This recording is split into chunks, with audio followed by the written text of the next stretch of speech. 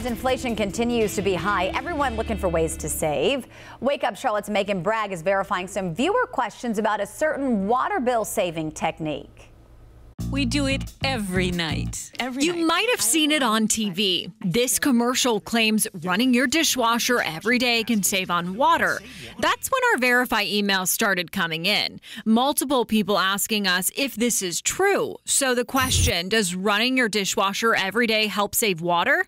Let's verify. Our source is Mary Geiger, owner of All About the Pipes Plumbing, Anta Plumbing and Drain, and Charlotte Water. We went straight to the city of Charlotte. In an email, Charlotte City Water told us it depends on if it's a newer, more efficient appliance and how full the dishwasher is. They then told us a plumber would have the best answer. So we reached out to Geiger. So it is much more beneficial to use the dishwasher. On Anta Plumbing and Drains website, it also states the dishwasher uses half the water you would have used by hand washing the dishes. You could use 20, 20 to 30 gallons per hand wash load of dishes versus most of the efficient dishwashers nowadays use anywhere between three and five gallons. Geiger says an average faucet, if you leave it running, can drain two gallons per minute.